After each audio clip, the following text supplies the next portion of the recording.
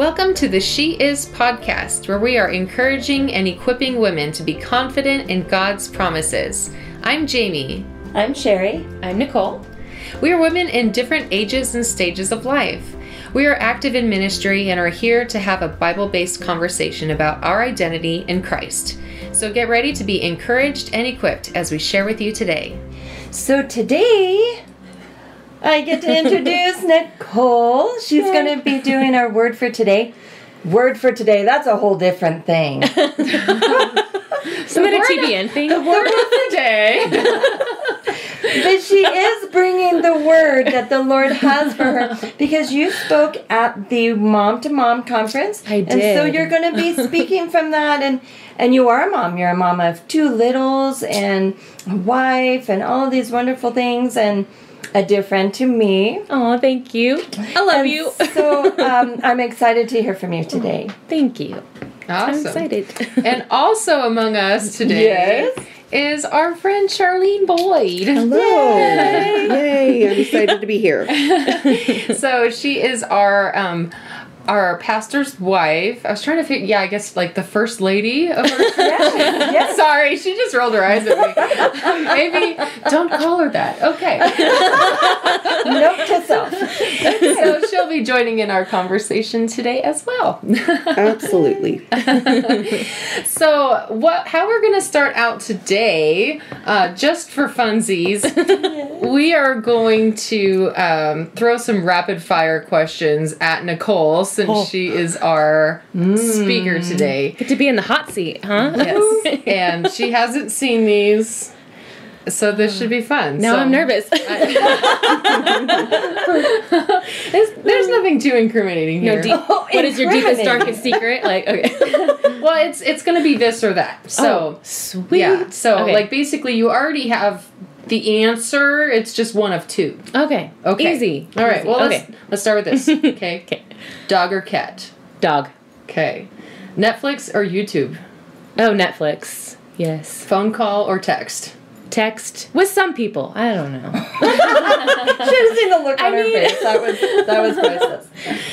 Um, cardio or weights? Weights. Facebook or Twitter? Ew. okay, I don't even have Twitter. Agreed. okay. I mean Instagram. Like I would choose Instagram. Sorry. Sorry. Yeah, that's not, that wasn't an option. I know. Okay. Dang it. Um, ice cream cone or snow cone? Ice cream, all the way. Yep. Uh, cake or pie? Pie. Swimming or sunbathing? Don't really like either of those. Next. um, new clothes or new phone? New clothes. Hmm. Mm-hmm. Yeah. Mm-hmm. Mm-hmm. Football or basketball? I don't know how to decipher either of them. I kind of just sit there and like Colton talks to me and I'm like, okay, don't know what you're talking about. So you're the supporting role. I'm support. I'm you there working on jewelry and he's there watching TV. So- Teamwork. Teamwork. Yes. Yes. All right. What's worse, laundry or dishes? Laundry. Oh my gosh. Yes. This is the bane of my you have small people. I do. so yeah, laundry's hard then. Yeah. Yeah. It mostly just sits in the dryer until I feel like wearing it, and then I disperse it throughout the house. Mm-hmm. I was sorry. I was thinking of little people and their Them too. okay, no, so like not always. Wait, but, so are they naked until you feel like well, you know your grandchildren. Yeah. How they like to go around the house. they like to be naked, so you know. Yeah, it mostly just goes from the dry or from the washer to the dryer to the baskets, and then it takes about seven to ten business days to get it to the drawers. Yeah, whatever's left. Of whatever's left of the pile. Mostly just socks, which I can't find the pairs Well, to. but wait, if they're naked, then why do you need to do laundry? I know. You just hose them down and then start over. Where's usually wear underwear. coming from? Right. Okay. Next. Okay, question. next question. Oh, online shopping or shopping in a store? Online. I, I Really? know. I'm, I would No. not have gone there. I on that hate one. I hate going to the store. Well, maybe this is because of COVID.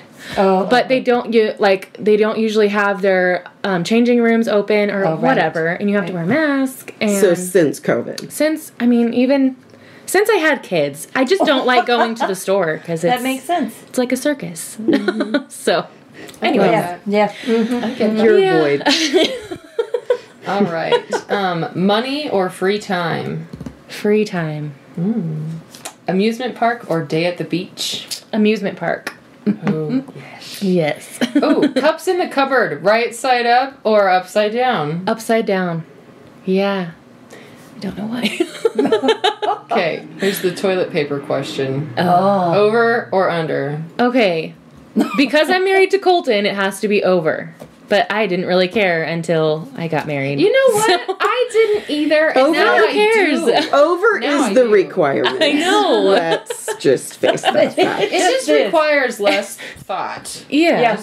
Yeah. You know? Yeah. Yeah. Mm-hmm. Mm-hmm. I understand the logic. I just don't always have time to do it. Yeah. that way. Right, right. I don't care that much. right. Does it take longer to put a toilet paper roll over? well, when the Then kids it are like under? screaming for Well, me, you have then to yeah, look at it. You have to look have at to it. look at it. Make sure That's it's true. facing the right way. You can't just throw it on there willy nilly, you know. Yeah. You can't At least willy-nilly I throw at least I shot. replace the toilet paper. Yeah. Some people in my house don't replace it Oh, when that's it's gone. a whole nother podcast right there. I know. That's a conversation. All right, let's just do a few more. Okay. Um, save or spend?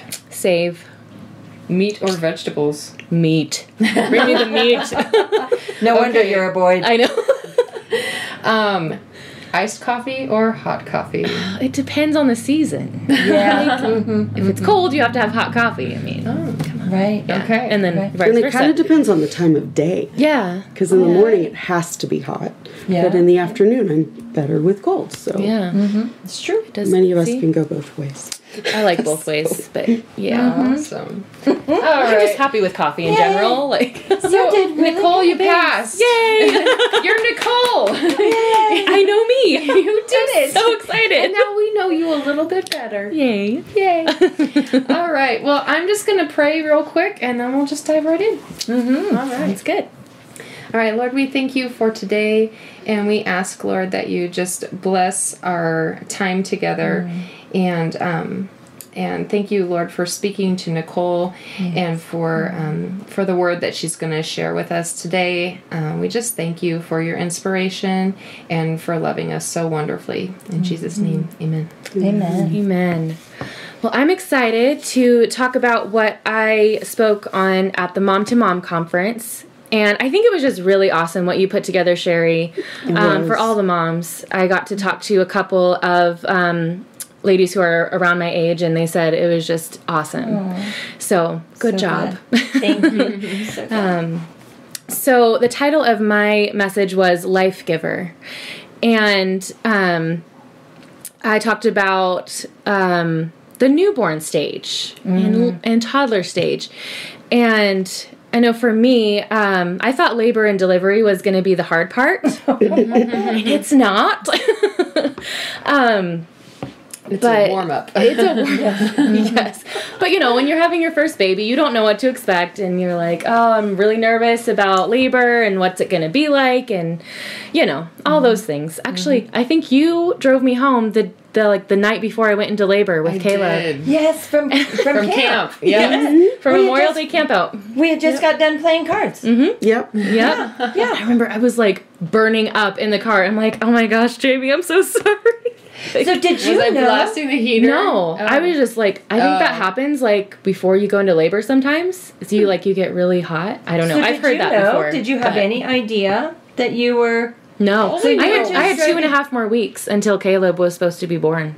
So And and Well, so obviously, we were brave enough to be a hour away from Oh, yeah. home. So. Yeah. right. well, and we had moved um, into our house that weekend, and so I think just all the walking and the lifting and Yeah, stuff yeah, kind yeah. of the process?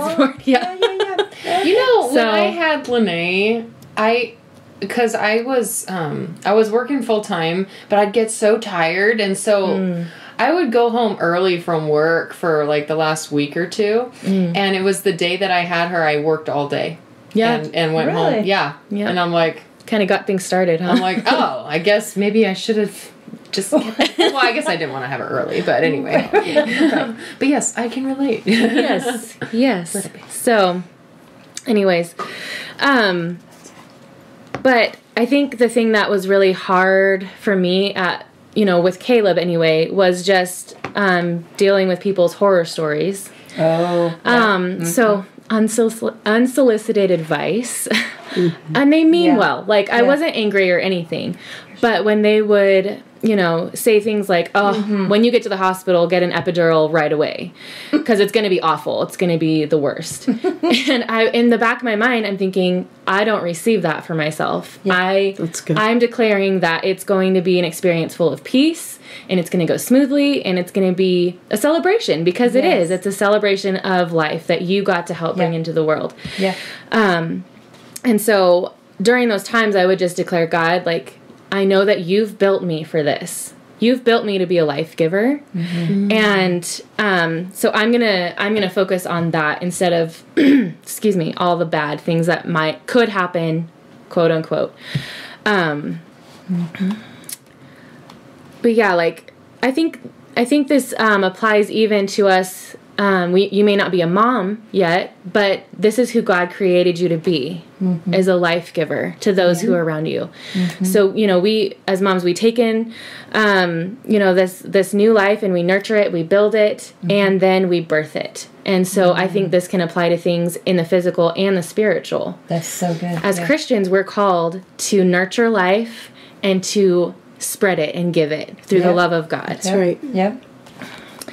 Um, So yeah, you are a life good. giver. That's really good. But uh, the verse that I was speaking from at the conference was 1 Samuel chapter 1. And I just felt like the Lord highlighted Hannah's story to me. She's the mother of Samuel. And I think this story is really interesting.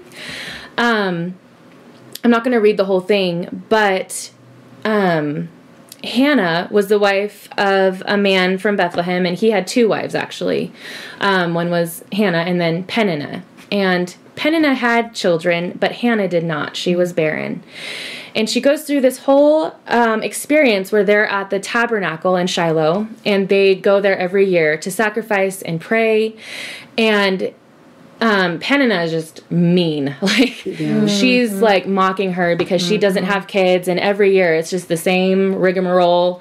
And her husband comes to her and says, "Am I not worth more than ten sons to you?" And he always gave her a double portion when they were you know celebrating at the sacrifices.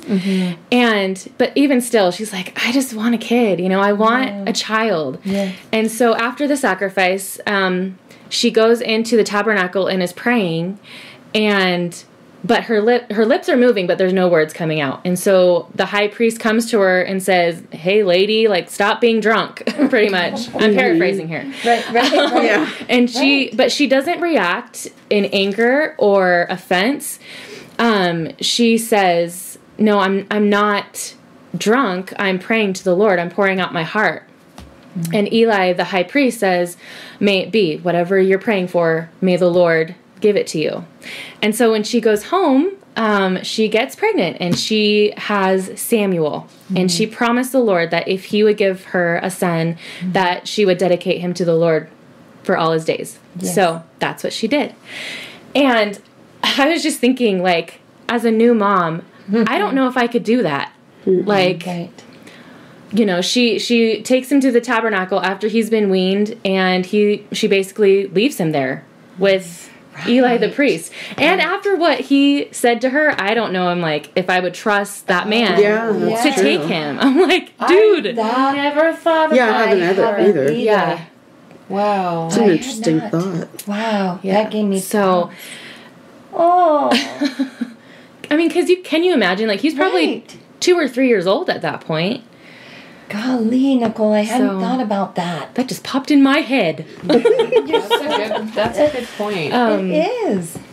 Golly. But like she had to totally trust the Lord with Samuel. She had to basically sacrifice her dreams. Mm-hmm. You know, what's, you know, having him around the house, growing up, you know, watching him, you know, uh, obviously not riding a bike, but you know, some of those milestones that they go mm-hmm. through. Mm-hmm. And she wouldn't have been able to be around for those things. They she got to see him once a year, and that's it. Wow. Yeah. I think this hit me at the at the conference too. Is that um, that her her desire was to give life. It Mm-hmm. wasn't to have a son. You know what I mean? Yeah. like Right, right. like in her household that that wasn't what she was after. Hmm. She she wanted to to bring life into the world. That's really good. I had never thought of it that way. well, it, it That's awesome. We don't i mean i guess when we dream about having kids you you dream about you know Mm-hmm. having having one in your home you know, Yeah. watching them grow Right. and that's that's not the vision that she had in mind because Mm-hmm. she was so willing to say if if you grant me this request god i will give him back to Yes. you and not just like something that we do in baby dedications where we Mm-hmm. dedicate our baby to the lord and then we take them home with us like she Right, actually right. like Physically physically gave Yes. up her baby. So Yes. mm, Golly. I wonder where that comes from. Because, you know, when we have a newborn, you come to church and you do a dedication service sometimes. Right. Like, I wonder if that story is where that came from. I know don't that know. when uh, Pastor Jim does Mm-hmm. baby dedications, he always goes to the story of Hannah That's awesome. and Elkanah and her giving her baby. And Yeah. so symbolically, it was Mm-hmm. like a way that we're supposed to have that attitude. But Mm-hmm. we do get the blessing of taking the baby home. Praise the Lord. Thank you, Lord. yes. Yeah, yeah. So, anyways, just trusting the Lord is what I really got out of this um, portion of scripture, and and I did talk a little bit at the conference about um, going through postpartum depression and anxiety, um, and I did, you know, I had that for about three months until I realized what was going on, and then I was just, you know, I just prayed through that. It was a season, but I had an amazing support system. I have an amazing support system. um, and my in laws, who are more like my best friends, and my family. Um, But it was really hard sometimes. Like, I thought I was going crazy, honestly, sometimes. Um, but. I, you know, I, I when I wasn't sleeping, obviously, Right. Right. Right. but even more so because like every time I would fall asleep, I would like jerk awake and like look at the baby and it's like is his chest moving? Like is he mm-hmm. breathing? Mm-hmm. Cuz you know they like scare you to death at the Yes. hospital like with SIDS and like don't do this and don't do this and really don't do that. And like I uh-huh. remember thinking at the hospital like I don't want to go home cuz right. you're actually going to like trust me to take this baby home. Seriously. Right. Um, but I just had to learn to trust the Lord in that and like mm-hmm. chill out because they're more resilient than they you think they are. They So, are. Yes. They're very bendy, you know.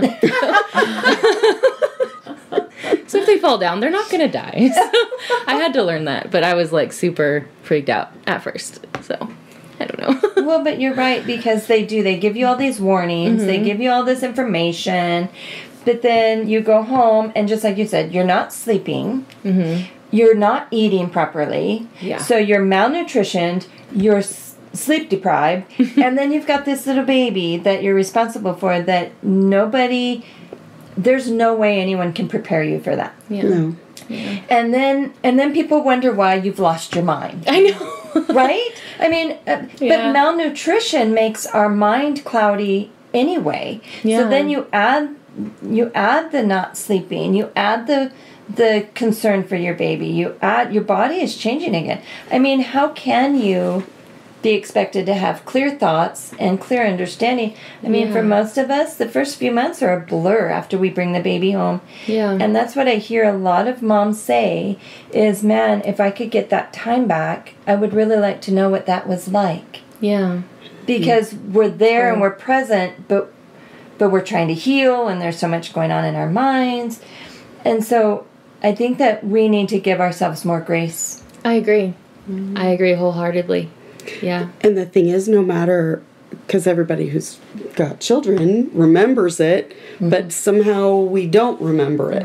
So, so no matter how much you can say, oh, it's going to be this crazy thing, mm-hmm. you just don't understand it till you walk a mile in those shoes. Yeah. And then God gives us the grace to remember it, but not remember it. Remember the good things. yes. Yes. But um I wanted to read another scripture. So in, in 1 Samuel 2, um, Hannah actually like basically has a praise fest. Um, She's just thankful to the Lord for everything that he's blessed her with. And one of the verses um, really stood out to me. It says, he will guard the feet of his faithful servants, um, but the wicked will be silenced in the place of darkness. And to me, I really felt like I really clung on to that verse um, when I was going through all the postpartum. It's like God is gonna guard my feet. He will guard my heart and my mind, and the lies that the enemy is trying to throw at me will be silenced. Um, So yeah, I I learned how to release my kids back to the Lord um, you know, and Hannah, she dedicated Samuel to the Lord, and, and we do the same thing like with a baby dedication. But I think you have to keep doing it like for the rest of their lives. And, you know, we're living in really scary times right now. And, you know, the more um the more I've thought about, you know, all the things going on, I'm not going to get into, you know, all of that. But you know what I'm talking about. We mm-hmm. have to release them back to the Lord, and that can be really hard to do. Mm-hmm. Can be really hard. Yes. I feel like it's um, something you almost have to practice mm-hmm. because it doesn't happen that one time when they're babies, and it. Cheri and I both know uh-huh. you don't have you don't stop releasing them even when they're grown up people Yeah. With with little people of with their little own. people of their own. so then we're releasing all of that and so you're right it, Mm-hmm. and it is a practiced and you're practicing that and you're doing really well with that Absolutely. Thank you. Well, and I, you. I, I, it just came to my attention. I don't know that we've made mention of this. That Charlene is Nicole's mother-in-law. Oh yeah. Yes, and the I just think people know that, but I- no. Well, there, we there we have other listeners. Yeah, if Yes, anybody yes. doesn't Yeah, come to just Refuge to City, Nicole is my daughter-in-law. I'm the luckiest mother-in-law in the world, Oh. and she gave me the two greatest grandkid children. In the world. So Just wanted to throw that little blurb in there for Yes. everyone. yes, that was Yeah. good. yes But yeah. Um, and just the verse that I closed with at the conference was Philippians 4 4 through 9. Um, Do not be anxious about anything, but in every situation, by prayer and petition, with thanksgiving, mm-hmm. present your requests to God. And that's another verse that I really clung to during that time. It's just I, I've always, I, I think I talked about this in earlier podcasts, but just my battle with fear as a young mm-hmm. woman, and even mm-hmm. still, like it's it's a choice to that's good. believe God or to walk in fear. And so, like sometimes daily, I have to say, I choose faith over fear. that's right. yeah Um, and sometimes I think we believe that no one can love our kids more than we do, the more than we do, but God loves them even more than us. And so, how much more is He going to take care of them? yeah So, Well, that's the thing, like what you were saying about um, these times that we're living in and having to rededicate rededicate them back to the Lord, is is that we we like to be in control and Yes. be mother hen over the kids, yes. but God has the vantage point that we don't have. Yeah. Yeah. And he has placed us in in that role to um to protect them. But he is the one over us. Yeah, that's right That's so good. and so we can't um, be so afraid of what is going on in the world that we can't release our kids back to God because he's I mean, I guess he's like the ultimate mother hen, right? He is. Because he You're wants to right. gather us Yeah, that's right. um like like a Put hen under the wing, chicks. yeah. Yeah. Mhm, Yeah.